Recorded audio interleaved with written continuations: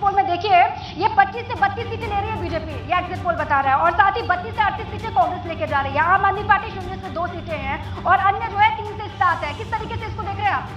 उत्तराखंड बहुत डिफ़िकल्ट प्रदेश है, बहुत डिफ़िकल्ट है। वहाँ जो चुनाव हुआ, चुनाव में बर्फबारी थी, कम से कम 25-30 सीटों पर, आधे के करीब सीटों पर बर्फबारी के बीच में लोगों ने वोट किया।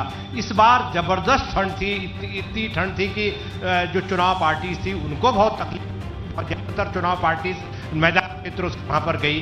और जो स्थिति उत्तराखंड में यह है कि बहुत एंटी इनकन्वेंसी फैक्टर भी था, लेकिन बीजेपी का संगठन बाकी लोगों के संगठनों से पार्टियों से बहुत मज़बूत था और इसके बावजूद भी अगर भारतीय जनता पार्टी अगर पिछड़ती है तो इसका मतलब ये है कि जनता में भारतीय जनता पार्टी की जो पाँच साल तीन मुख्यमंत्री उन्होंने बदले और कोई ज, कोई कोई जवाब नहीं है वहाँ के लोगों को कहा कि ये तो मुख्यमंत्री बदलना जनता पार्टी का अंदरूनी मामला है। इस तरह के जो तर्क थे गढ़े गए और दूसरी बात यह है कि बहुजन समाज पार्टी जिसको कम आंका जा रहा है मुझे लग रहा है कि हरिद्वार में उधम सिंह नगर में बहुजन समाज पार्टी को कम से कम दो से तीन जो आपने आपके एग्जिट पोल ने कहा है कि अन्य को मिल सकते तो बहुत बीएसपी भी एक बार अपनी ताकत दिखा सकती है और एक सीट या दो seat UKD neck to neck जाती दिख रही है ऐसा हमारा फीडबैक है। बिल्कुल और देखिए उसी तरीके के जो अनुमान है वो भी सामने आए हैं। जल्दी से फटाफट से एक छोटा सा रिएक्शन भी ले लेते हैं।